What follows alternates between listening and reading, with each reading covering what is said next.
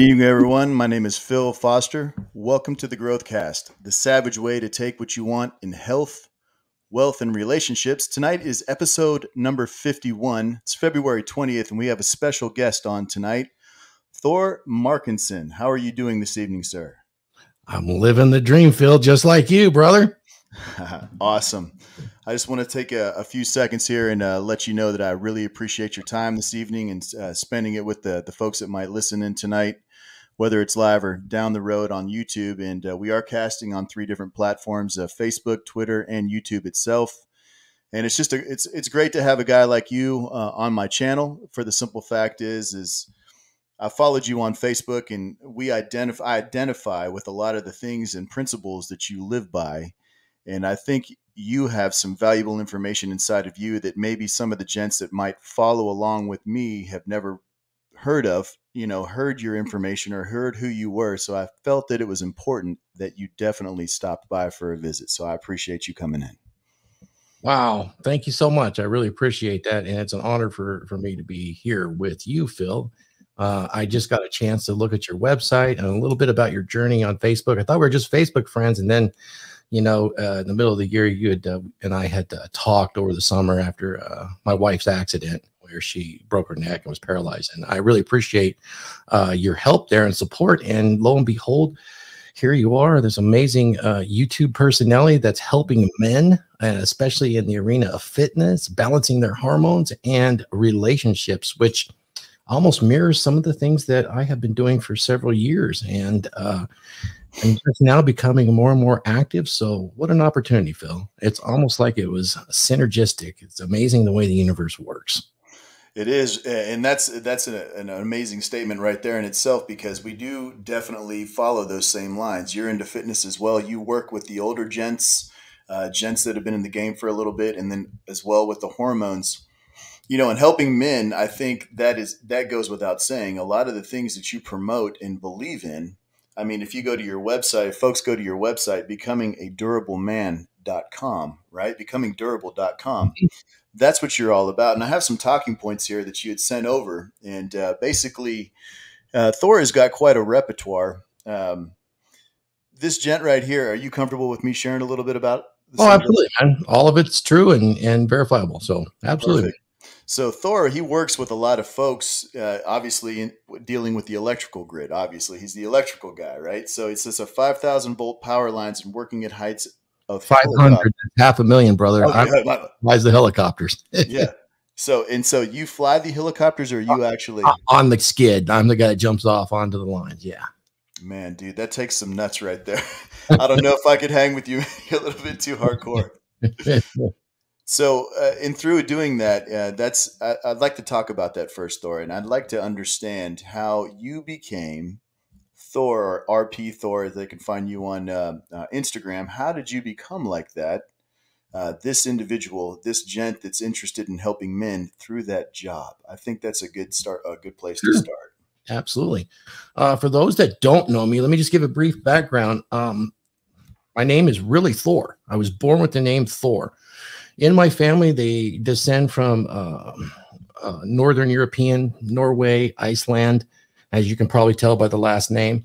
And uh, a lot of the men in my family have the same first name, which is Mikhail, and, and we go by our middle names. Mine is Thor, and I've gone by Thor all along. Hated it when I was a kid here in America. I was born a year before they came out with the comic book, and it became quite popular. So I, I had to deal with the abuse and the bullying, which I wouldn't trade for anything. It made me tougher as a man. And uh, you know, it's it's interesting when you have a, a name, you almost have to live up to it. So that's another story. But at 59 years old, I've, I've seen a few things. Um, I got involved in in the trades rather early. I was very bored with high school, and I graduated at 16. And as a gift, I had two fantastic parents. My father might as well have been Odin. Uh, sent me to Europe for three months at 16 to learn a little bit about life. And I'll tell you, the last two and a half weeks without money, I learned a little bit about life. you know, that's uh that middle name right there, Thor. That is a big one to live up to, right? You know, and and so a little bit about Thor, you know, and understanding who he is. Uh, he's been married for 30 years to his lovely bride, and uh, they've got four children and 10 grandchildren. So you've been around for a minute. so you're an authority when it comes to what long-term relationships and some of the things that you discuss with men and helping them navigate what's going on in today's society when it comes to relationships and who they are as men. And go ahead. Well, I could certainly tell you what works for me and and some of the people I've coached and consulted with, um, you know, based on experiences and uh, and and uh, not that I'm a superior expert, but I do have 30 good years under my belt, and I have some clients that have had over 20. So, yeah, and uh, it can be an amazing thing to have a successful marriage. Now, let, let, let me get this right. I don't support state marriage at this point, and I haven't for a long time. My wife would support me on that, but I do support what is called ceremonial marriage between a man and a woman. Uh, and what that actually is, is everything except the state involved. And I actually have recommended to clients that wanted to go this route, they, they, they actually write their own wedding vows, such as I did when I got married. Not to copy somebody else's, but write your own. It's much more valuable. It's much more long term. And it sets the stage for success. But more on that at another time. Yeah, and I like that idea, right? And with the state not being involved. And I guess with the uh, with today's society and where things are going, it's it seems almost natural, almost evolutionary. Correct? I mean, when you start looking at what's going on with the divorce rates and, mm. and what happens um, in uh, divorce court, for instance, you know, I'm an anomaly. A, lot of the, the, gents that follow me and or who know me, they know my story and what I've been through, and they they will definitely, I can definitely assure you that I am an anomaly. But most guys, they really get kicked, and so you're saying just a ceremony between the man and a woman is good enough, and and there's nothing nothing else that's needed. No, I mean you you could obviously dress it up as necessary, but yeah, there really is nothing else necessary. Uh, particularly when you're making that commitment from your own heart, you're drawing your own vows, whatever they may be based upon. It is a covenant between you and the universe and your wife. So that's really the important part, not the state part. Now, in days past, you were offered incentives to be married and stay married. Those were long, long gone. You're actually incentivized to marry and to divorce. That is the incentive today. It is everything is stacked against you from the court systems to uh, social social media to television. Men are portrayed as comedic caricatures of what men should be the way we communicate. We are being trained at an early age for the last 25 years to debate as a form of communication. You can watch this in any sitcom, any newscast, any open talking head show. It is debate. When a man and woman speak, it is not a normal conversation. It is adversarial as if two men were debating, and this has been made normal. So you take that, you couple it with today's society where it's tough enough to have to make a living and you almost both need to work and you're both out alphaing each other. I hate the term alpha, but just to, just to use it as illustration. And uh, you end up having these stressors, and all of a sudden, you know, the woman will see a way out because she loses attraction. You know, uh, complacency sets in. It's easy for a man to lose attraction because once he has that gal, you know, he has grabbed the brass ring on the merry-go-round, Phil yeah, absolutely. Easy, easy to get fat. I mean, I've got I've got the cow and the milk's coming in for free. You know what? What more do I need to do except drink it? That's not how it works. You know, thank God for um, um, hypergamy because it keeps me on my toes. I I thank God for it because it makes me a better man every, each and every single day. Because if I don't, I know what happens in about six to eighteen months. I've experienced it. I know what happens when the attraction leaves, and then the death knell comes in you get contempt. When contempt arrives, you're in deep, deep trouble. Oh, yeah. Everything is stacked against you at this point when you're sitting there having a conversation with your wife. You have beautiful kids. And as a man, you've been blinded yourself. You got wife goggles on, you don't see it. You're idealistic. And then you look ahead and you say, honey, look, the sky's blue. And she snaps at you and says, it's not really blue. It's a, it's a deep gray purple color. You got a big fucking problem. Big and, one. if that's the conversation, you got a big problem. So, and then you go to counseling, mm-hmm. marriage counseling. If anybody the history of this and where it came from in the 20s, I will just tell you this look it up. It came from a eugenicist. Okay. It's an amazing thing, and it is stacked against you. It is literally a feed point for the system. Oh, it and, is 100%. It is not your friend. I've experienced it myself. So you've been married 20 years, you're going to counseling, and the wife and you are being counseled. There are secrets being held. Mm. And uh, basically, it's a sounding board. And all of a sudden, you know, you've got this person who is the expert that's never been married before, giving side counsel. Girl, you need space. Move out for a little while, get some space, find yourself, and you'll be truly authentic then. Oh yeah. Do you think that works well? Yeah. I'm gonna I'm gonna tell you my, my I realize I am actually the space for many. this is a bad deal and it just feeds the system over and over. And the reason it's such a bad deal is because the way the way our nature is is that as as women age it's harder and harder to find the ideal for them to truly be fulfilled in a relationship. For a man man if they're if they're sexy and available it's about it. And then they might consider loyalty and some of the other other other things for longer term. It's not nearly as long a list and difficult of a climb and there's reasons for that. There's nature's reasons for that. So i do have sympathy for where these poor gals put themselves in and they can't help it because women are heavily influenced in, in today's environment. The, the demographics show it. They're being taught phil for the last 25 years get an education. Great. Go be a man and compete in cube world at least until you're 30 yeah. then you can marry and settle down when the baby rabies hit. Here's the problem. Using pareto's distribution principle and curve, you look at the demographics. Here you have a woman that's over 30, say 30 to 30 to 40. Okay. Mm. Let's be fair here. That's a geriatric pregnancy if you were to marry and have a child. And the problem with that is only about 17% can actually successfully conceive at that point and have a child. It's staggering. It's just enough. So the, the exception principle comes into play, and every single gal that is 30 says, I know somebody that had kids, it's not a problem. I do. They can do it. I can do it. Yeah. The reality is, you just stacked 80% of the odds of having a successful pre pregnancy against you, and it declines from here on out. But you see the exception, so you think it's the rule. And it's almost like a damn conspiracy. And our demographics have now slipped to 1.4. We are losing population at this point. Our bodies aren't built for this. So there, there, there's a lot of challenges to relationships today, many of them. And here's the problem the fulfillment and success in a, in a good relationship is immense for the women and for the men. We're better together than apart. And if you've seen a woman that's had a good, strong, successful relationship, admires her husband, is proud to be a part of that, they are vastly more fulfilled in life.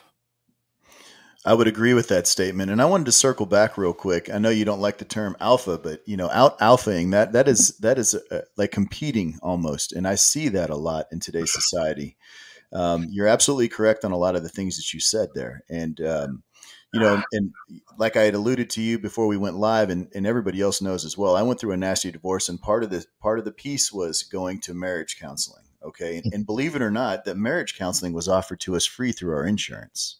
Oh, yeah you know that's it's so it's even more so okay and, and so we go to we go to counseling thor and basically uh you know the the, the issues were never resolved okay and and so it, the guy looks at me and he says okay well i'm done with you and you stay and he told my wife to stay in there and sure enough you need time apart.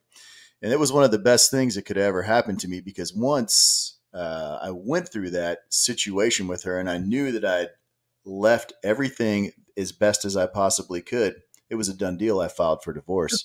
But I think you're on you're onto something there. Uh, that competition, right? Women, I don't think need to compete with their men. I think they need to support their men, and I think that's why a lot of people are in the situations they're in these days. Um, and and I, and I will tell you, I have a very difficult time. Especially, I live in the Dallas Fort Worth area, uh, Thor. It's a huge metroplex, and it's hard to find other couples or other people in relationships that have the same common view, so to speak, that you know all things flow through the father first. You know, mm. I don't I don't have to ask my girl, hey, I'm going to go do this. I just go and do it. Hey, this is where I'm going. See you later. You know, yep. it's it's interesting to me how men have been degraded okay and to to the point to where they're almost children now and you know you're right absolutely uh, what you were saying earlier about the uh, the sitcoms and how men you know like the peter griffins you know obviously it's it's everywhere in almost every sitcom they are men are treated like children now.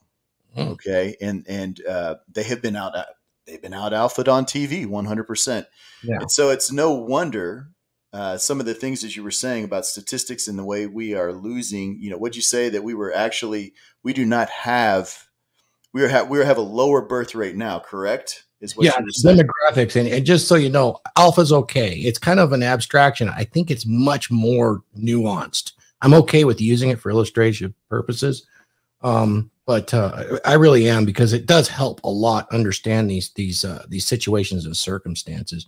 But yeah, the demographics that's happened in the last 25 years is stunning. We're seeing data now that's uh, really interesting, but there are consequences, Phil, for every woman that is born for us to maintain our current population. 2.4 babies must be born, every single woman. Okay. Right. So in the 60s, 2.6 were being born. They freaked out and said, Oh my God, the population is going to kill us all. We're going to have too many children. Mm. Worldwide, it has now fallen below sustainable replacement averages. Japan is 1.1. China has fallen below the 2.4. America is 1.8. So 1.6 to 1.8, I believe. And so what's going on? You know, we're going to lose population. That's that's going to be pretty serious.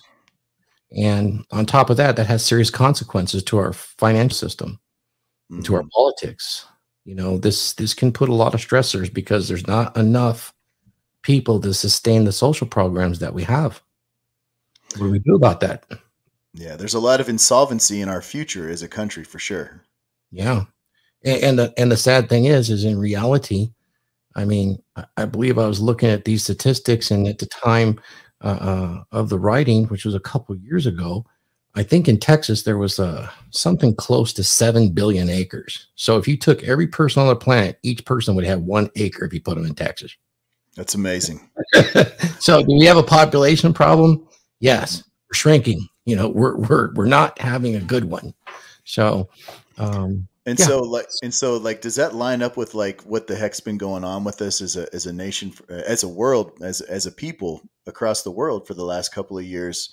Um, with this thing i don't really acknowledge what it is but you know there's a lot of conspiracy theories out there that say hey that it was it's designed to depopulate us you know the the injections or whatever.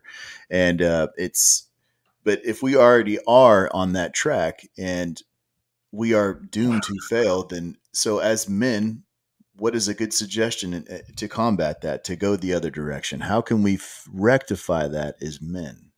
Well first of all a lot of conspiracies ended up being true by proven by history and i don't know i don't i'm not privy to any information but it's certainly you know through policies and public policies at least on the depopulation thing and and you know the green environment we're taxing literal air you're breathing it does appear as though there is a severe there is a conspiracy to depopulate mm-hmm. uh, at least the rural areas and concentrated into the urban areas at least that much. Um, so what do we do about it? I mean i think there's going to be a ton of opportunity here for uh, men in our space. I mean men come into our space and they're really interested in having sex. Right now what was it uh, young men between 18 and 30 is it 32% are sexless?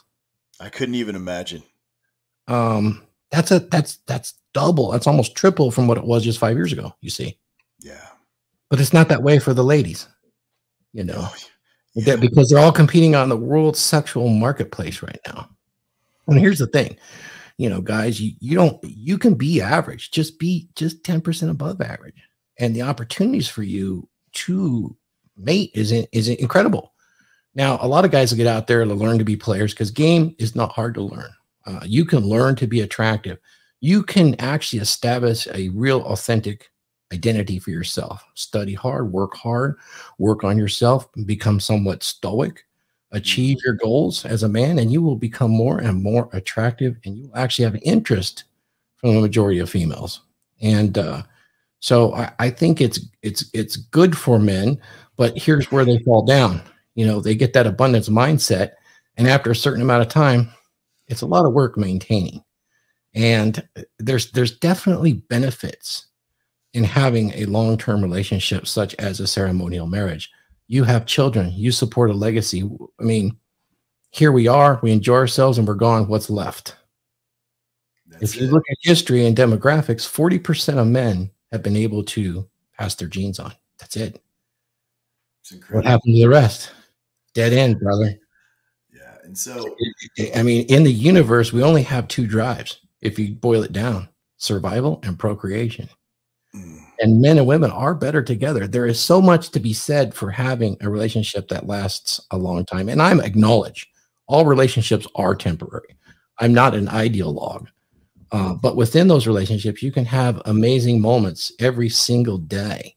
At some point, it'll end. But for now, you know, you you can get a lot. You can build an empire together with your queen. Uh, and I think a lot of men in our space really do want that. Publicly, they may not say that, but look behind the scenes. And the guys that don't struggle, they struggle with it as they age. You know, what am I leaving behind? Who am I? You know, they're not getting that support system that was built for us, which is a female by our side or two or three. yeah, and that's interesting, right? Because uh, you know, circling on that a little bit with the red pill community and, and guys that are, you know, they come to the men's side of Twitter. You know, I found RP through Twitter. I didn't really mm-hmm. find it through. Uh, I found it through Twitter, and um, you know, those guys are pretty. They're pretty wild over on that side on that social platform when it comes to it you know, obviously Reddit as well, and uh, mm-hmm. there's a, there's a lot of twisted takes though, unfortunately. And when when new guys are just figuring out, okay, I'm completely screwed here. What do I need to do to straighten out? Okay, how do I have sex with my wife again? Mm. You know, they put this in, and boom, there's Reddit. There's so and so. I mean, I think like this guy right here, the Family Alpha at the FamilyAlpha.com. He was a big uh, Reddit poster and he's done some blogging as well. And I think one of his articles is like keyworded now because of the simple fact is it's like, you know, how to turn her into your slut. You know, That's so, yeah, sure. and, oh, there's uh, lots of that. I mean, uh, you don't just come born with that knowledge. No. And that knowledge is crucial. I'm going to say it and I'll say it here and I hope it's not a problem. When guys will tell me all the time, and this I, exactly you said, a dead bedroom from the wife. How do I get her back? That's the biggest part of my consultations. There are ways to do it. However, that being said, it's really important when you get past that six months of dating because once you've done that, there are behaviors and traits that you need to be aware of when the honeymoon phase is off. Mm, when it's not so sparkly. When you get to sniff her farts and see her warts, you know. And if you can get past that part right there, you can actually start conditioning her to be the wife that you always wanted, and she will be happy to do so. This is not something that you do as a malevolent dictator, not at all. It's not done that way. Mm. It's done subtly and over time, and they're happy to do it. It's it sounds horrible. I'm conditioning them like a dog. I'm using operant conditioning. You are, but um, you're the leader. You're expected to do that. That yeah. is what you must do. Uh, and you and you can see that done throughout history, and even the Bible. You can see this to great success. Um, we're built that way. You know, and a lot of guys they don't want to face that because it's uncomfortable. It's an uncomfortable truth, and that's uh, you know I think that kind of goes along with when these guys they come to the you know the, this side of Twitter or wherever they find it uh, to find this information. There's a lot of misinformation out there. There's a lot of mm. skewed information. There's a lot of bad takes. I share the same sentiment in having a long term relationship with somebody. I share that same sentiment of, okay, when I build my legacy, you know, my queen is there with me. You know, she is a big piece. Like it, we're all over social media together. We go to public events together. Uh, a lot of people in, on social media have met my wife, seen us together, and it's important because she is a key component to what I am building. Uh, if I was to be gone tomorrow, she would have a pathway to carry my my legacy on. You know, as even though it's young and it's just really getting going, and I want a lot of guys to understand that uh, when you're figuring these things out, when it comes to your woman and conditioning her, like Thor was talking about earlier, um, it's basically just letting you have to establish. I would call boundaries early and often and then reinforce those boundaries. Mm-hmm. uh, and don't be afraid don't be afraid to call it like you see it. So many guys are afraid of their women and then they lose more respect for them it just dries them up even more okay? I always tell people that i come in contact with when it comes to my wife and she's listening to this stream right now and it's all good. You know the, the moral of the story is if i don't put her on the roller coaster every once in a while she's going to put me on the roller coaster Sure. You got to have a little bit of fun with it, you know, at the same time. But understanding that when you are conditioning your mate to your liking, they're completely a good woman that wants to be with you. It definitely wants to share in your mission and do the things that you want to do in life. Will support it and then and, and then take it right up. And I think that has a lot to do with their mating strategies and who they are as people. You know, they really want a guy to lead them. Unfortunately, in this day and age, uh, most men they fail to lead. I mean, you can go anywhere. You can go to you can go to a grocery store and 95% of the, the dudes are walking behind the woman. They're pushing the shopping cart. They're being led around the grocery store. It's it's incredible to me. It's backwards. Everything seems to be upside down and backwards. Oh yeah. And and, and I think that when people and this is what I was trying to say a little bit earlier is, you know, I have a very difficult time, you know, you know, when I come in contact with people that really don't live this kind of lifestyle, understanding, okay, well, how do you guys live and operate like that? You don't, you know, and, and, and it, you can just see like the blank stares, and you can almost once you start the path, it's seemingly effortless. Once you start the path, the hard yes. part, like you said, boundary enforcement. That guys they can barely lead themselves to begin with, and if you can't lead your, if you can't rescue yourself, you certainly can't rescue her or lead her, or in any way, shape, or form. There is something to be said about a woman, her emotions, and her feelings that we will never describe as a man. And a part of that, you know, she cre- she creates these little humans inside of her, and she needs to be protected and secured. We will never know exactly what it is when she has secured in the hind part of her brain that she is with the best, most solid rock of a man that could protect her in any circumstance mm. that there is out there, the level of fulfillment that she gets from that is almost not, we're not able to put in words and comprehend. And you can see that on them when they actually achieve that, right? Mm-hmm. And when we set boundaries, just expect them. They will be broken by not only her, but you. Oh, and yeah. you need to be prepared to deal with it. And I'm pretty harsh when it comes to forming the relationships. I put the guys through quite a bit because I actually make them uh, and I make them have a escape plan because if they talk about it and have an escape plan up front, it's not that you're predetermining it, it's that you're getting those unknowns out of the way so that you can be successful. Mm-hmm. And you don't take away her ability to be a human and depend on you. She still needs to be a human being and have some of that uh, capabilities, you know. Mm-hmm. Uh, and you need to encourage that within her. So it, it, it's just smart to do that. There's a lot of details behind it, but um, I think you're absolutely right. And you know, when you have that fire in all cylinders, it's it's you haven't. It seems completely effortless, and yet it's not. But it, it, it seems that way even when you're in it, and that's where it leads to complacency, guys. Yeah, I've already made it. yeah, it's that. What's that whole arrival thing, right? They've arrived and it's all good, and then they let themselves go, and then there we go again. And I think a lot of guys they're they're confused on that one as well because um, once they get into that position with a woman, and they do get comfortable and they lose it again, they get a little frustrated. They fall back into that anger position, I would say. And um, I think most guys would do well to focus on themselves first, and then the woman will come. Um, mm-hmm. There's a lot of times where uh, you can tell in a relationship with two people where you know boundaries are set, expectations are met or not met, and um, okay does, does he continue to let that behavior slide? Does he continue to uh, tolerate that that disconnect from that woman you know and and, and especially in the red pill community is because they're they're kind of they're incompletely they've incompletely finished the process of coming out of that comfort phase or coming out of that conditioning of oh the woman first and, and putting themselves first. It's interesting to me when i see guys go through that and it's like a loop. They just kind of they get there and then they go right back and I've seen it yeah. over and over again. And some of the biggest dudes that we see on, on, on social media in this in the men's space that talk a good game, boy, they they're they're owned. It's incredible to me. It really is. It it it uh, it kind of it doesn't surprise me. I mean, I I because I I don't know. I've I've counseled some, so um, it's an easy trap to fall into. It's an easy trap to fall into. Uh, and, and this red pill, a lot of this red pill information works so well. And you can kind of get carried away with it if you're in an LTR and you can do some damage, people. uh, because a lot of it's unflattering. They don't want to know about it. They just want you to do the right things, you know, lead the relationship, learn to lead.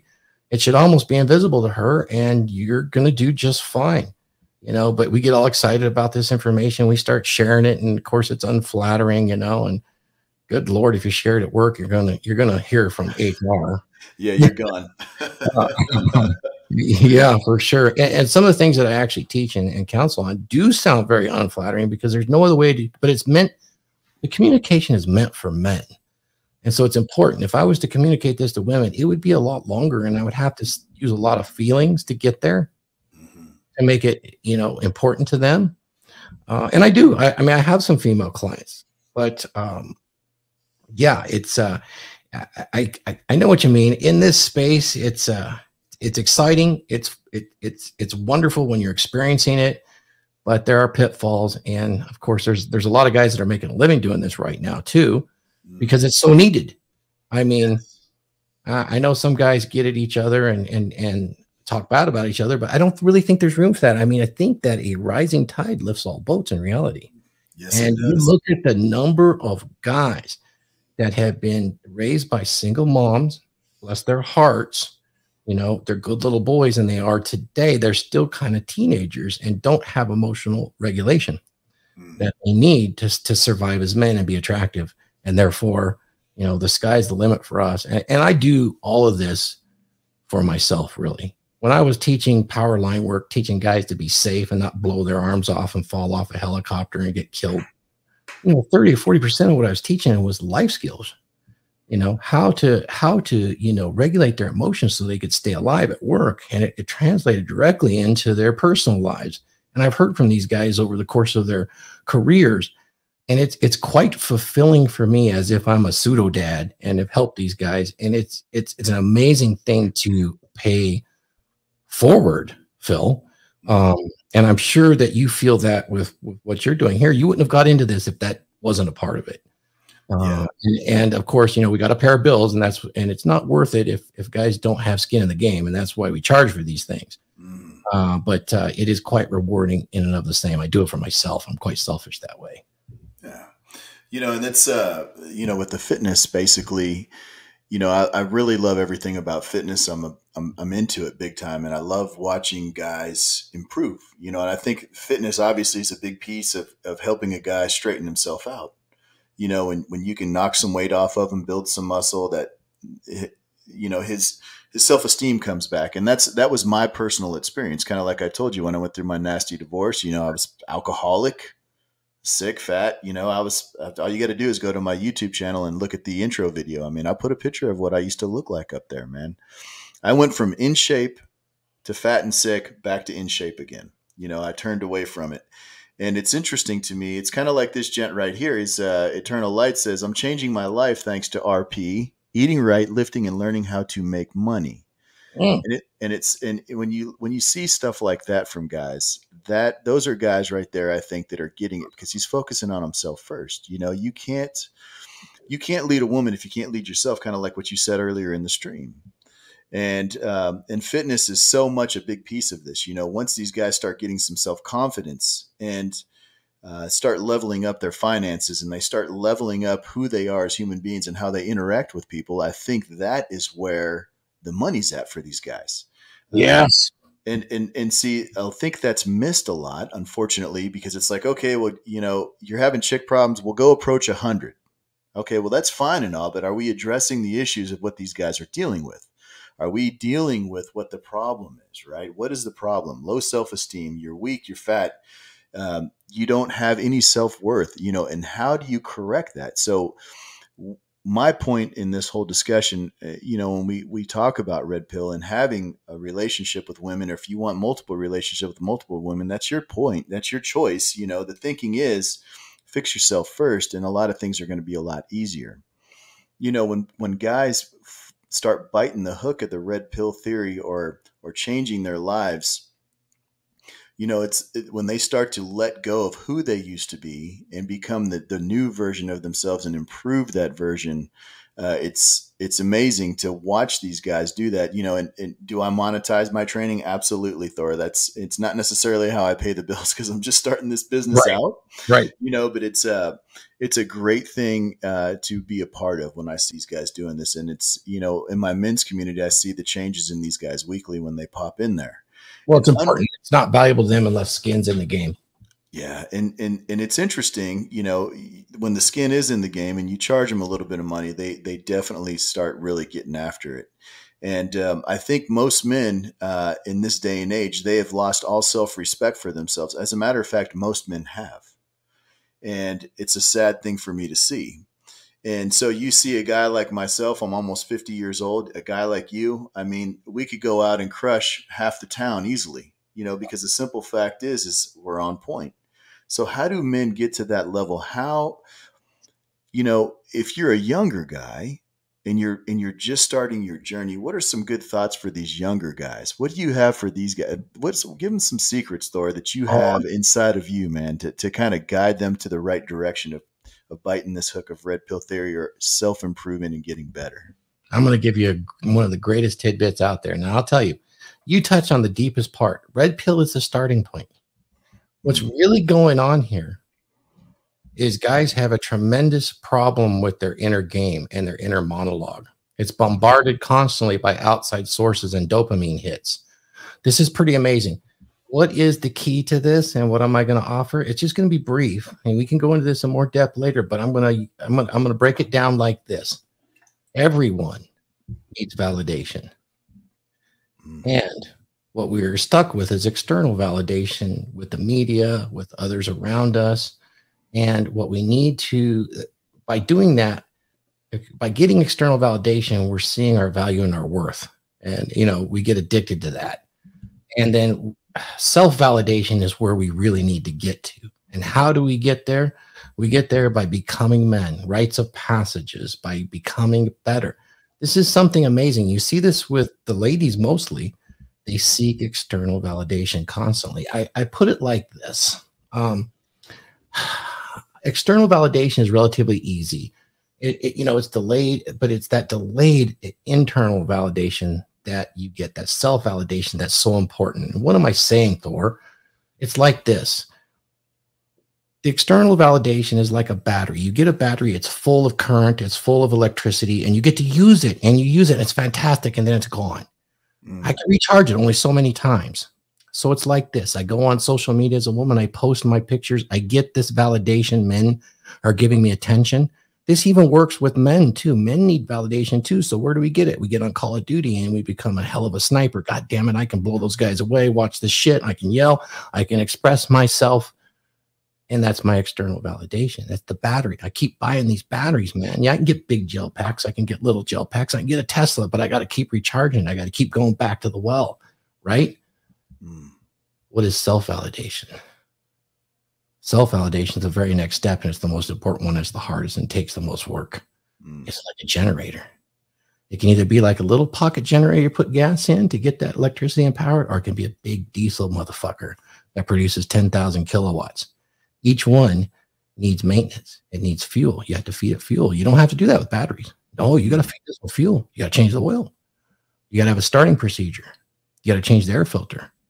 These are all things you have to do to yourself. But when you do, not only can you self validate, when you do this enough, the external validation, those batteries start coming at you without you seeking them out. And guess what? Mm-hmm. You can charge those batteries and you can throw them back out into the world It's an amazing thing. So self validation is an amazing thing and it's part of emotional control. When you can regulate your emotions, you have command of the world because you see, if you're really honest with yourself, we don't control anything. Externalities, internalities, none of that stuff is controllable. The only thing that we control ever is our thoughts and our emotions and our perceptions. And that's it. And we choose how to deal with them to, you know, interact with the outer world. So that's probably the deepest thing I could throw out there. That's the most important. And the red pill is just the starting point. Your physicality, if you're able to be physical, it is the very basic thing you have to do. Put yourself in a position where you're get comfortable being uncomfortable. because that's what it's going to take to build a generator to self validate. Yeah. Man, that was deep. I like that analogy though. If you think about that, you know, you can you fuel and maintenance your generator and then the batteries come to you. Mm-hmm. That is cold, man. That is cold. That is a cold one right there.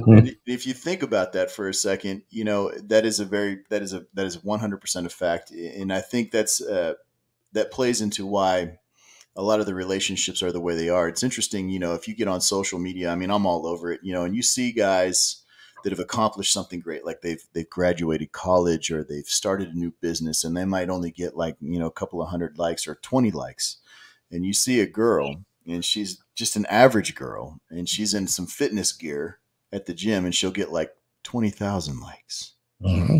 It's in crazy. It's crazy to me um, how uh, convoluted women have been. And, and this is I'm probably going to get some heat for this, and it's okay. But their their brains have been blown up by this external validation from from thirsty men and it reinforces it because these these young gals come away with i need a man that worships the ground I, I i walk on completely unhealthy and will destroy just about every part of her life including herself.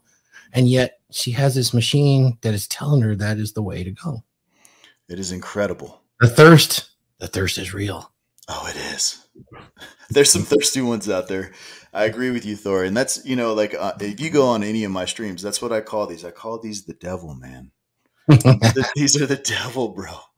They come, it's coming at you for the dopamine, you know, and and I, and, so, and I think that um, you know I never really thought about video games for guys, but you're right. I guess a lot of dudes they do play that. You know, everybody I come in contact with really doesn't play video games. We're all too busy, but um, the younger gents for sure, right? I guess there's a whole generation, and then you know, so seeking that. that think about it. Doesn't have to be that, but the, the example for that can also be. Think of it this way: You've been in corporate America ever? Um, no, sir. Okay, let me let me say you can be in that cube farm and you can play that game in corporate America. And what happens to people there, and there's studies that's been done on this. Almost almost two thirds of everybody that plays that game in corporate America lives on that job description. It becomes their identity. Mm. I will tell you this that's an unhealthy fucking place to be for men and women. Their identity is what I am an analyst three, senior executive assistant. Yeah. It's it's it's an it's natural to do this. We do this, attorneys do this, doctors do this. But here's the thing. This is the reality.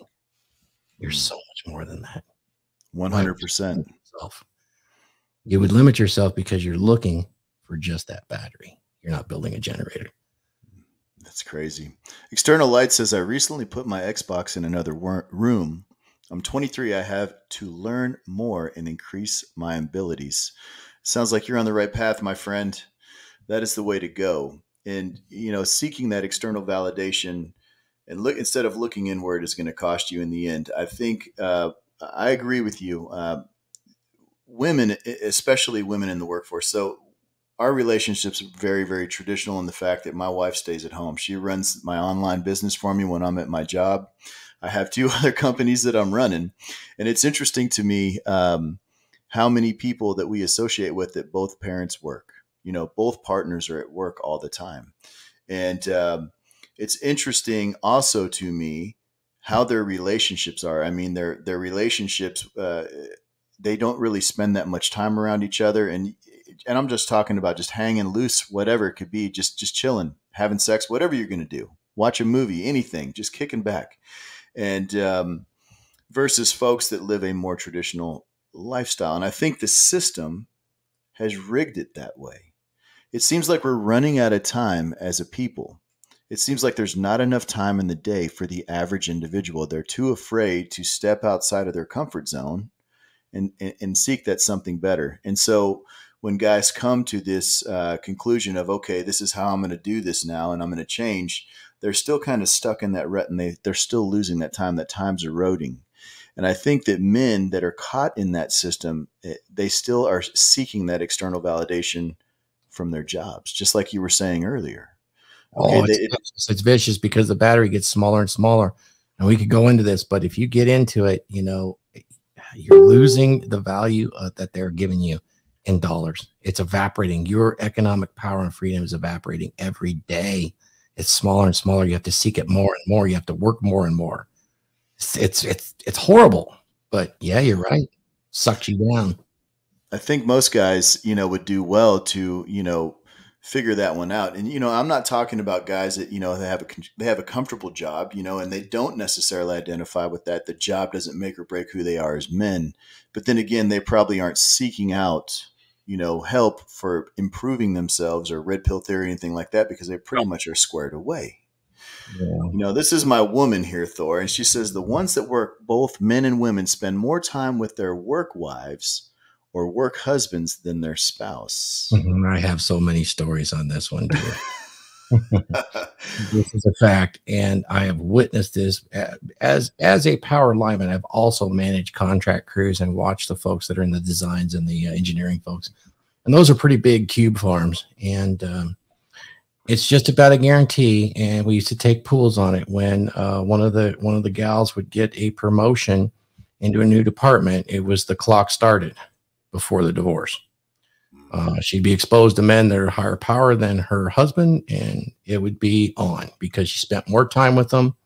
They would go to conferences, this and that, and it's just it is human nature. It's human nature at play, and uh, yes, choices are still involved, but you know, instincts and emotions are very powerful things. Have you, has has anybody ever been exposed to the the cheating being revealed and finally being held accountable for it and these words come out.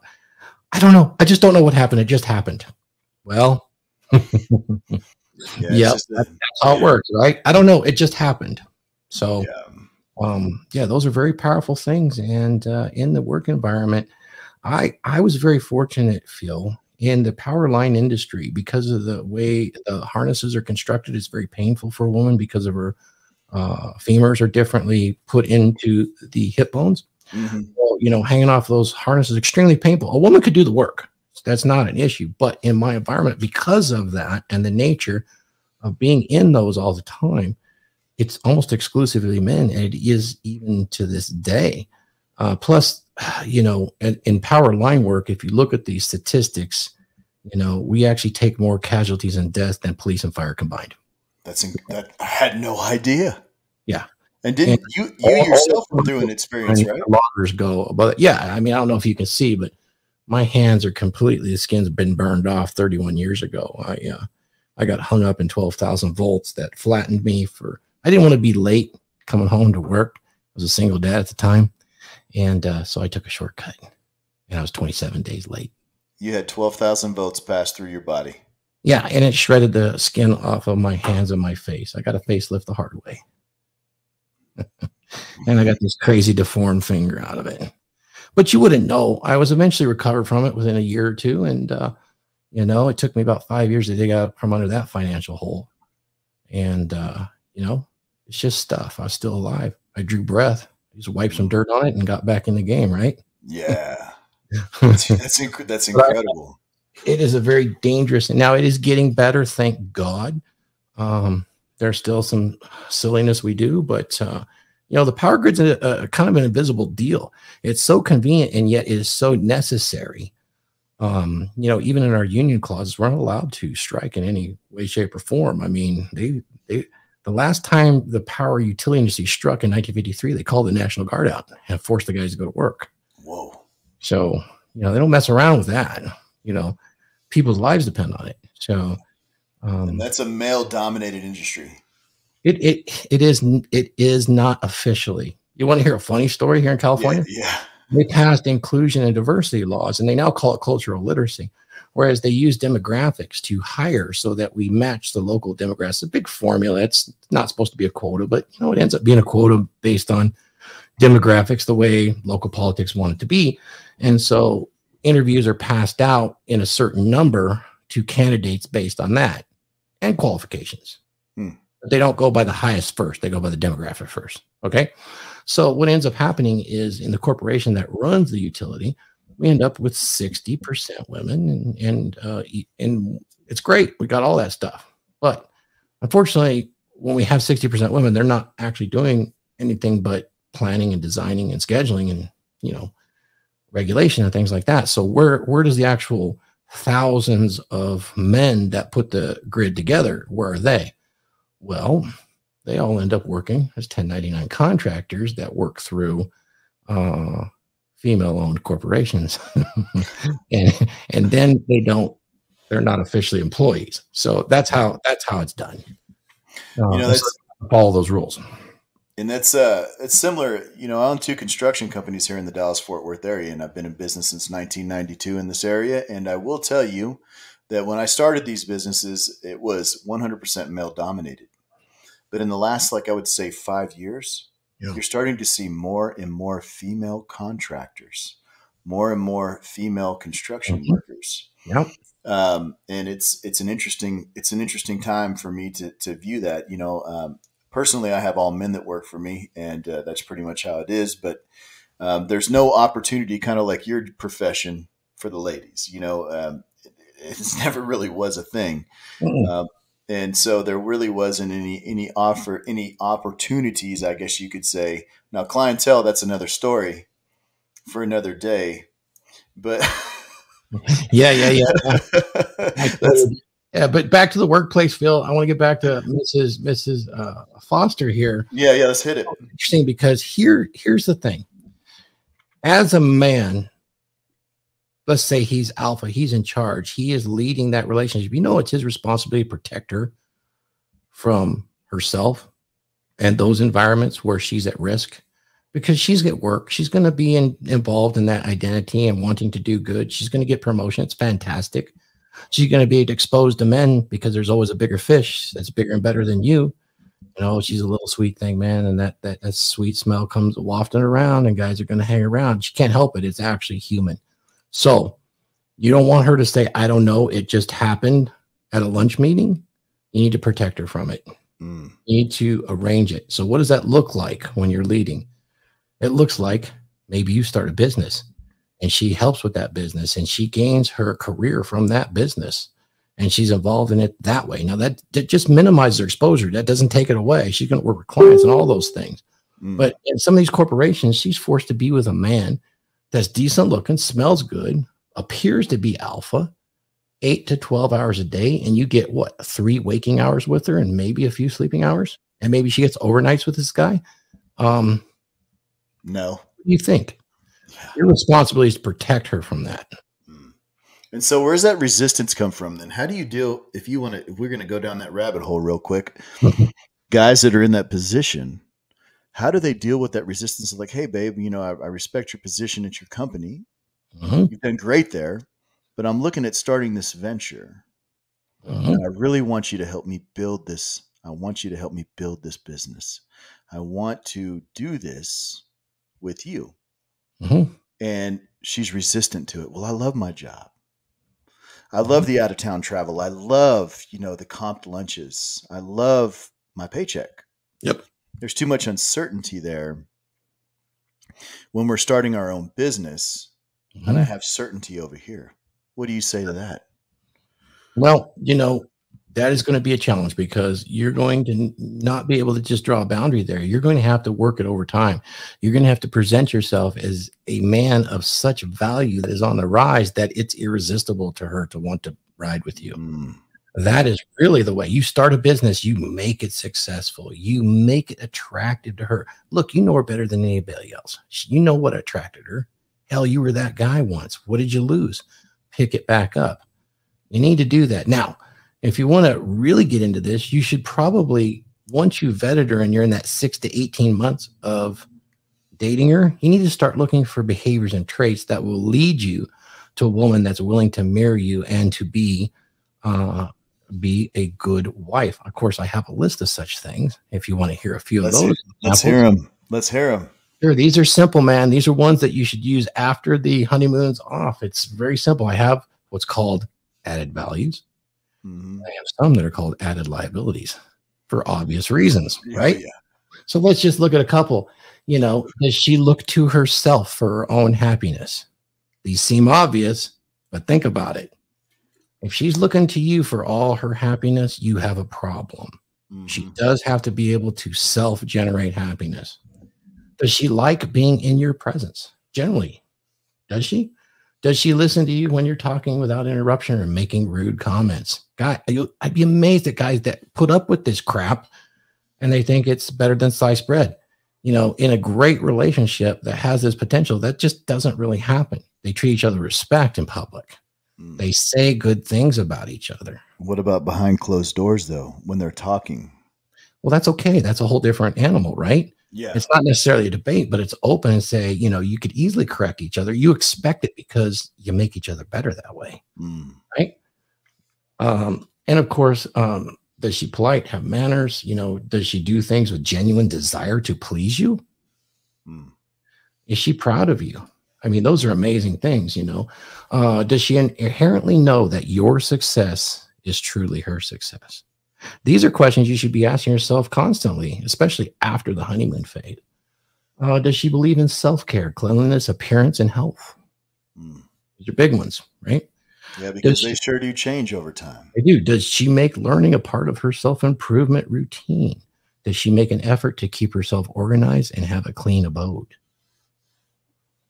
Is she, this is the big one, is she the influencer amongst her friends and family? That's that's deep. value. If she is the influenced, that's an added liability. Mm. Does she leave you alone when you're working and making a living for you too and providing for your future? Or does she constantly pester you with texts and phone calls and expect immediate response? That's an added liability. Mm. Does she that's, look, that's costing you? It is. Does she look forward to having sex with you? Mm. Does she make the effort when she's not in the mood. Those are values, believe it or not. Oh, yeah. Oh, yeah. Oh, yeah. You know, you, you could take it to the added liabilities when you're actually screening and you're trying to put this this this this um, union together. You know, is she unreasonably demanding of your attention? We talked about that just recently. Mm. Is pleasing and pampering her to avoid her discomfort something that you find yourself doing? That's a big one too guys do this and fall in the trap and then they go i don't know i did everything right. She's happy happy wife happy life. No no no no no. No no. No no, no. it's like this. No. Good wife makes for a great life.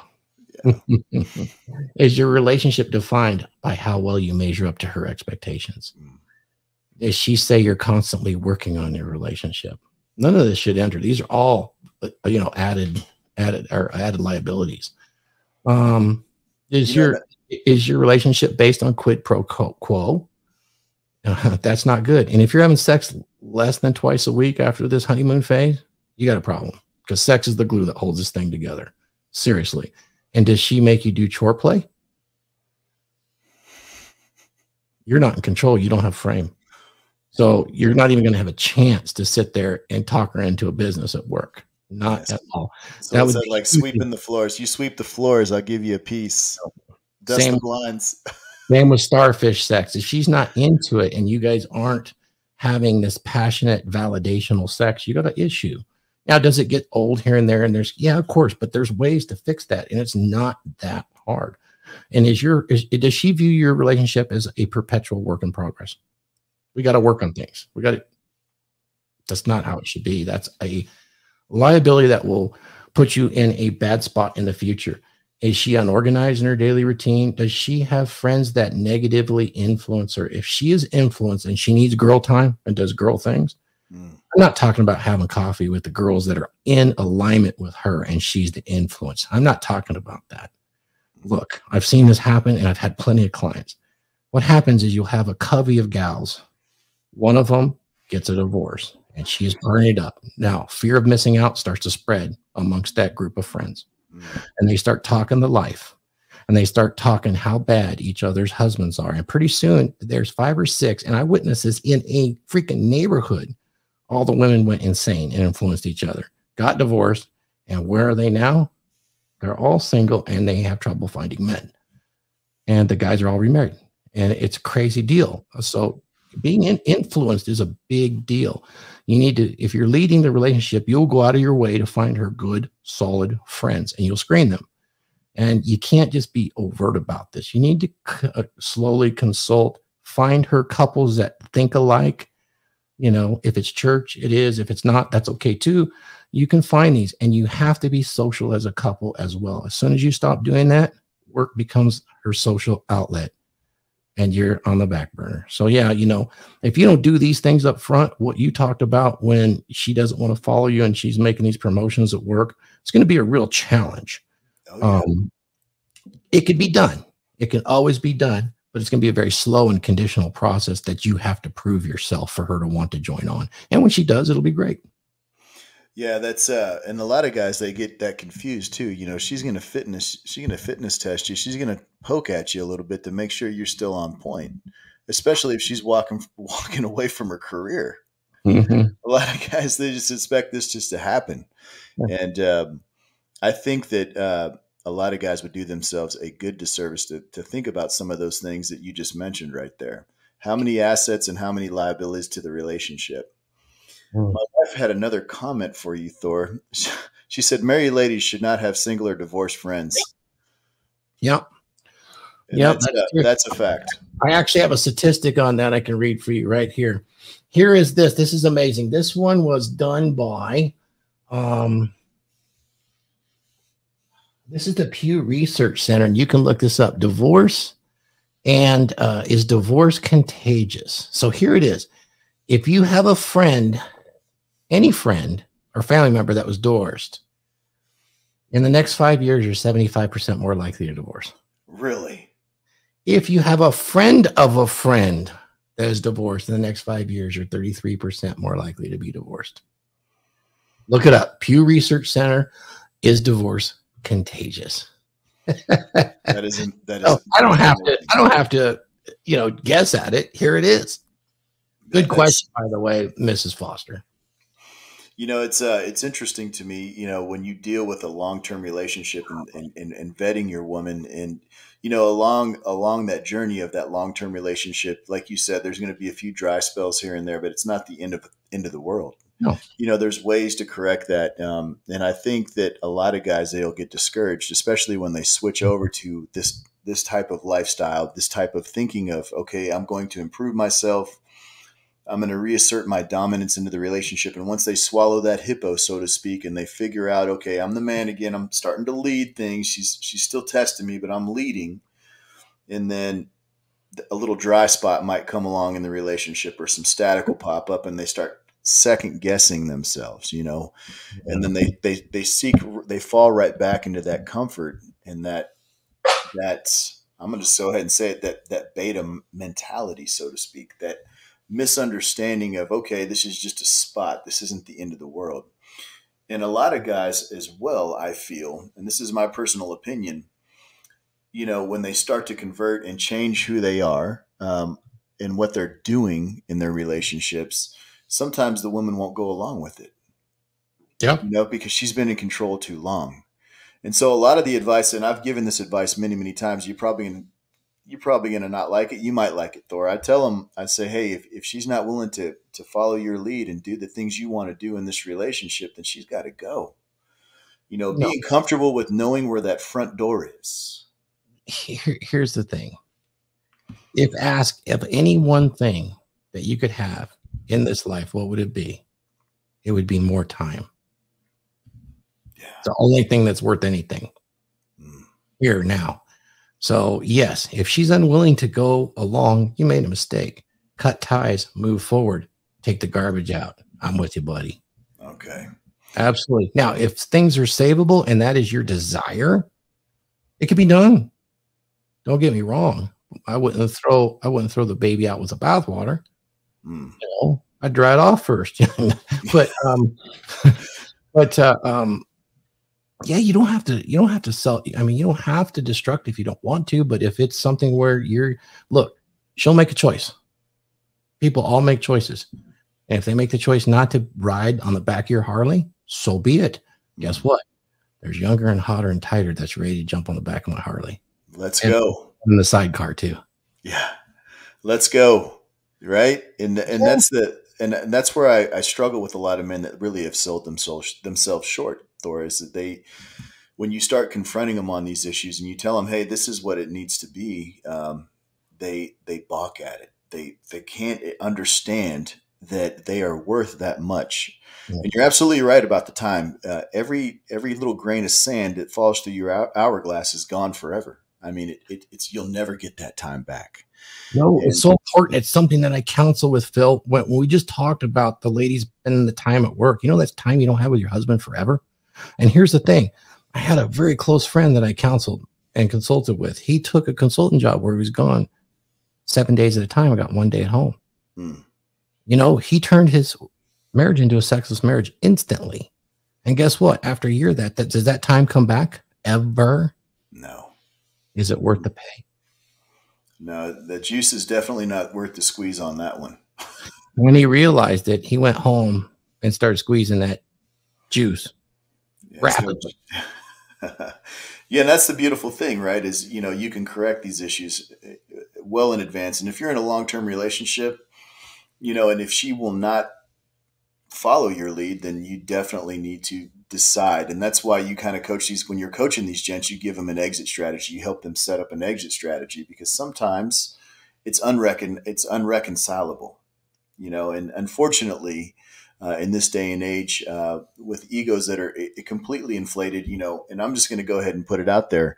A lot of women, they, that perceive themselves because of the external validation that you were mentioning earlier in the stream perceive themselves as something so much greater than they really are they bring zero value to the table they bring the the only thing they bring to the table is what they they they have between their legs because they really are not bringing any other piece of the puzzle to help you build and and, and that's an uncomfortable truth that a lot of guys are going to be gosh man i can't believe you'd say that uh, but the facts still remain uh, with the way things are so upside down, uh, men, I think, would definitely do better for themselves to focus, like we were talking about, first on themselves and then building their legacy. And if she wants to join, she or or not, she's got to go. You know, and moving and moving forward in long term relationships. Um, you know, over this past year, I mean, if you're comfortable speaking a little bit, you know, why don't you go ahead and share a little bit about what you've been through in your relationship and how you, as a man, Thor, have conquered it and how you're going through it, you know, and how you're in it for the long haul, so to speak. Sure. On my current relationship, been together 30 years. And uh, I will say uh, this when I dated 30 years ago, and I dated a lot, and she did too, it was different. It was today there's this perception that dating is serial monogamy for some reason. Mm. It appears as such. It's what I'm hearing, but that's not how we dated. We dated to find a husband or a wife. That was the purpose. That's what we were looking for. And as a single father raising very young children, it was very difficult to do that. And I met her and as it, you know, as happenstance, she lived next door to a co-worker of my father's. And uh, we we had a blind date. She had two young children, and I had two young children. I mean, they're all like under five, and um, we both had primary custody and the other spouses were not involved. And uh, this seemed like it worked, but then, you know, I'm a little too rough around the edges and I'm kind of a bull. And so scared the shit out of her. And so I didn't see her for six months. And then she saw me at a social event. And when she saw the social proof that I had, then she kind of we danced, you know, you know, country western dances where they rub their pee pee on you and all that. And it was that was it. That was the end of that. We were on it. And then there was a date after that. We are you know, inseparable for about, yeah, that's how it goes, right? That country. well, what else is it, right? You know? And so, so, um, you know, a year and a half in, I married her in a ceremony that was just me and her with our children present. And I wrote our wedding vows. So it was, it was something that was really important to us because we had agreed right up front that it was about us. And then it was about us raising our family. Our children did not come first. It was us because we both knew that if we came first, we offered the environment that allowed our children the most success in life. It wasn't me with hers, my children come first and your children come first. It wasn't that at all.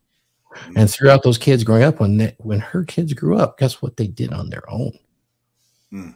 They legally changed their last name to my last name. Impressive. That was pretty cool. They both did it when they turned 18. Uh, three boys and one girl. Uh, and so, you know, we did not have children together, but we blended the family and it worked extremely well. Uh, however, you know, as things go, I was very career focused and uh, yeah, I was climbing the corporate ladder. And uh, I actually went to college and got a degree and became a, a, a PMP, which is a project management professional. It took me about five years of that and realized I looked around and said, man, this ain't me. that was a mistake. But during that time, you know, I became very complicit in uh, my marriage. I got sick. I mean, it's no excuse. I uh, had a tooth infection that I had uh, developed a jaw infection and I overused antibiotics and it gave me colitis. And I lost a lot of weight, lost all the color of my hair. I looked pretty sickly. I thought it was stress. I took a demotion so that I so I could recover. All of that in her mind over the course of 18 months was a complete loss of attraction mm. and a slow waning of sex death, right? Yeah.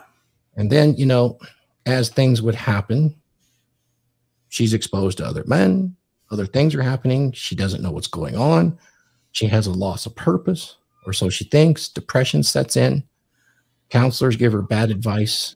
And upon the bad advice, I came home one day and the moving company had taken her stuff and she left. So, I mean, I went through a, a process there, uh, looked at a few things, assessed myself, and I was on the road to recovery at that point. and I just did a scorched earth thing. And as it, uh, I mean, there's a lot of details behind this, but as it mm-hmm. turned out, she eventually got very, very depressed, and we started dating again about five to six months later. And eventually, I moved her back in, and uh, I had gotten myself quite a bit in shape. I had a lot of female attention, some attention from females that were the younger, tighter, exact spitting image of her. That did not make her feel well. Um, I understand that, but it also gave her motivation too. And she knew me better than anybody else. So she actually had a large advantage. And also, there was some remnants of the wife goggles still on. So that saved Empire right there. Um, and then ever since then, we've had the absolute best relationship you can imagine. Uh, it's all about improving ourselves and improving uh, our experiences. Now, it was going quite well. Um, part of my red pilling happened way before then. It was really with the 48 Laws of Power and uh, reading that. But uh, as I started my fitness journey, I kind of became more red pilled. And do, during that process where we had a separation in our relationship and I experienced others and other experiences, it, uh, it told me what was more valuable. And uh, it also taught me a lot. And, and during that time, I read Rollo's book. It had only been out for like three months and it's, yeah, this makes a lot of sense. And it kind of gave me some of the tools that I moved forward with. I wasn't angry about it. I kind of knew it and I just moved forward and it actually improved our relationship considerably. Mm. Uh, and she's she's the best, man. She's very flexible. She understands her role. She loves her role. She likes the fulfillment. She likes her grandchildren, her children. She likes being my wife. And there's a lot of play that goes on back and forth between us a lot of sexual play, a lot of innuendo, a lot of social interactions that occur in our lives. Unfortunately, I've had to curtail a lot of those things because unfortunately a car was thrown into her last June and her neck was broken and she's now quadriplegic. So, you know, she is wheelchair bound. And um, at this point, she can walk a little bit. She just received stem cells last week, implants, and we're hoping for some good recovery there. And she has every indication that she could recover 80 to 100% over the next course of two years. So that's a good thing. Yeah. Um, so we're working really hard. She's quite emaciated right now. She needs to gain her weight back. Um, but that's that we'll do that, you know. Um, but it, it's it's been quite a challenge for her. And uh, the thing that's most frustrating for me, I mean, I've been flattened before, injured severely, and had to learn to deal with it. But to watch a loved one that's in such severe pain, and, and has been crushed before your eyes, it's a real test on your emotional regulation for sure. Uh, and you realize immediately that your feelings really don't matter. I'm sorry, but they don't. You have actions to take. Take the actions. That's the most important thing. Take the actions for your family. And uh, she's doing much better. Uh, I think mentally, it's a hard thing to adjust to having such a fit, healthy, fun life to losing nearly all of it and uh, she's starting to get some sensations back. That's a really good thing. Unfortunately, when she gets sensations back, Phil, they all feel like pain, and that's mm. It's a good thing, but it's a bad thing. Imagine, you know, you start to get some sensations back in your legs or your or your privates, and it feels like pain. That sucks. Yeah. That means the nerves are reconnecting, right? Mm. Uh, she's fortunate as a C6, uh, C or a C5, C6 spinal cord injury. She is incomplete. Thank God she has bladder and bowel control. Oh, thank God, right? That gives her some dignity. Yes. Uh, that's really good. Yeah, she's got a fused neck and she has very little dissymmetry with it, you know, with the exception that she has to bend over quite a bit. But we're getting her straightened out and we're going to get her some physical therapy for that quite a bit we've been doing. So I'm fortunate. You can see the gym behind me. Yeah. I'm doing that gym a few days a week and I, I make her cry. And I don't like doing that. You know, I don't, but it needs to be done. Uh, so we're going to be okay. Our relationships is good. She helped me put together a 20 hour course on long term relationship success, principles behind it, and how to actually uh, fix a dead bedroom, how to actually explore when you've lost when you've lost the drive and you've lost and things are boring with a relationship how do you get that back? We're quite experienced with that. You know there are things you can do. You can explore bdsm there are other alternatives you can explore. There's fantasies. There's dirty talk. There's lots of things you can do that really can spark that again. There's erotic hypnosis. There's many many different things. You can learn shibari. It's amazing. And it's amazing that it works so well uh, you know get fit again join a fitness club you know enjoy those folks. Get social. There's so many things that can be done to save that boredom that people find themselves in. And i'd like to think she is definitely my right hand because we've counseled uh, oh, probably half a dozen couple. And i will start with the men because it's a men's thing for me. Mm. sooner or later she ends up on the phone with one of these gals. It's an amazing thing you know? Um, and I, it comes from all walks of life. I mean from around the world. I've counseled guys from Europe to Japan um, that have some troubles with their LTR and want to do better. So she helped me put those 20 hours together. Unfortunately, I was right headed for a release a week before she got hurt. Yeah. I had to cancel that and I'm going to redo it. Uh, I'm going to be posting on my YouTube channel, which is RP Thor. And uh, I do have a small mastermind group where I, I, I feed out pieces of the course as well as I invite men to join it. Very reasonable. And this is also where I help men uh, re-socialize themselves. We got young guys that come on and we teach them red pill principles and then ask them to present in front of the group, Mm. develop social skills. And there's amazing things using the Socratic method. When we get these guys to teach red pill stuff, it's amazing. They pay it forward. And then it really sinks home and you watch them blossom.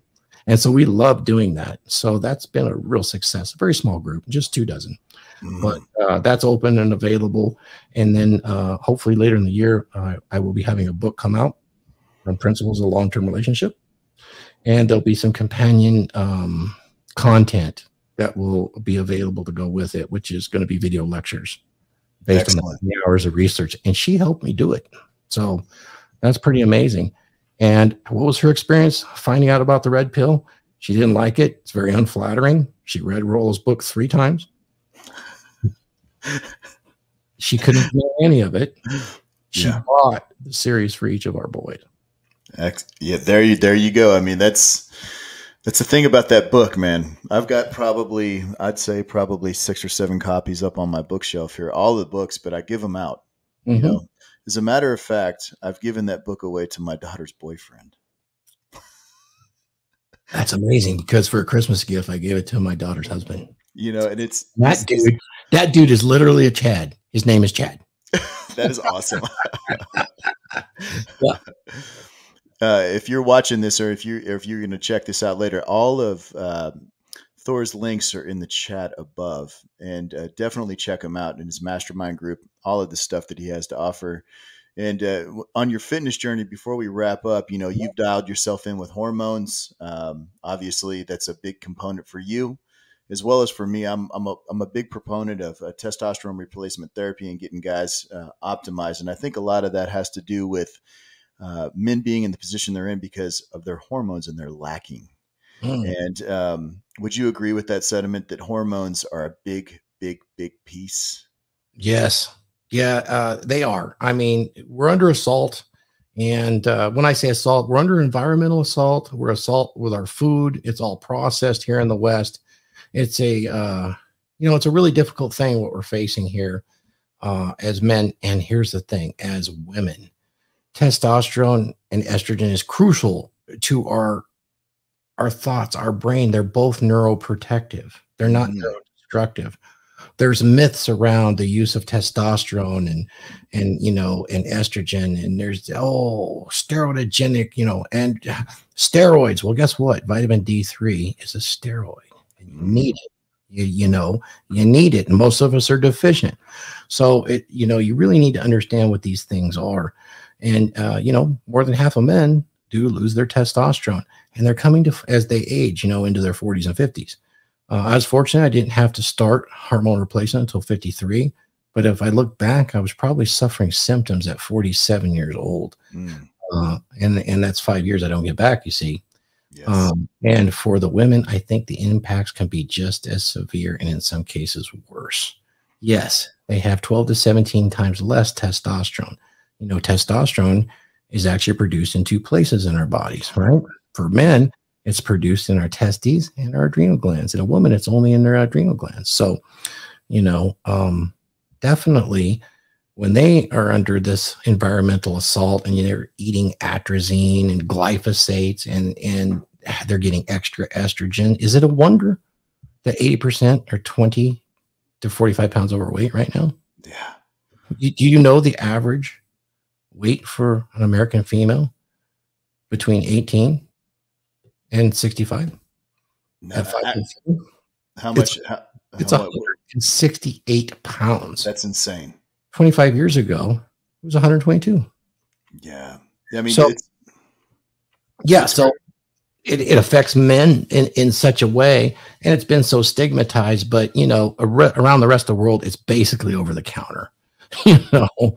So yeah, Tess, I know I, I, saw your website that you do some uh, some uh, advocacy for hormone replacement.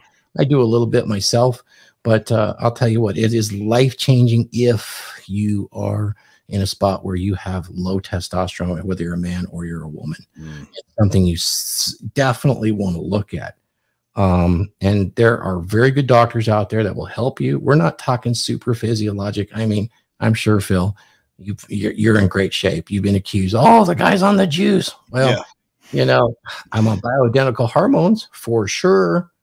Yeah. It's the same stuff that I had when I was 30. That's one thing I did when I realized how important this was. You know, I bought a complete blood panel for every one of my children when they turned 30.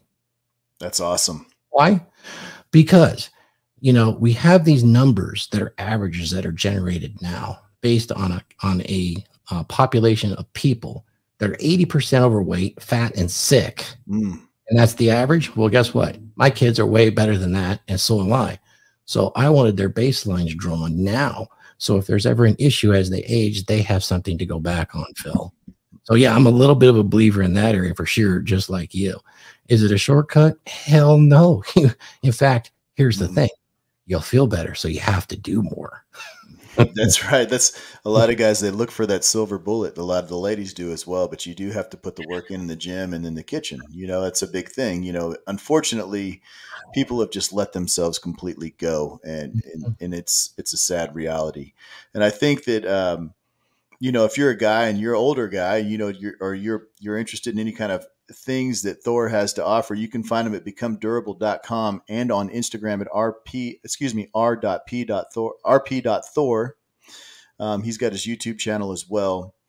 And I just wanted you guys to really know that, um, you know, some of the things that he shared with us tonight, you can understand that uh, he's an older gent and he's been, he's had quite a, quite a life, what he kind of went through with his wife and, and, and he's into teaching guys that it's savable to a point and understand that it's up to you to put the work in. You have to reach to those that have that information. And Thor is one of those guys out there. I've been following him on Facebook for quite some time, and um, it's an it's an impressive thing to watch. And you got to understand that uh, there's no silver bullet out there. You're still going to have to correct the, the issues that you have inside of you, especially if you're coming to the new red pill side of things.